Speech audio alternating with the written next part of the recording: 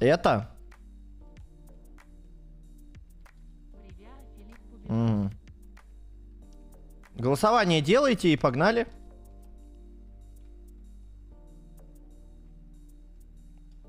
Потому что первое тоже прикольное.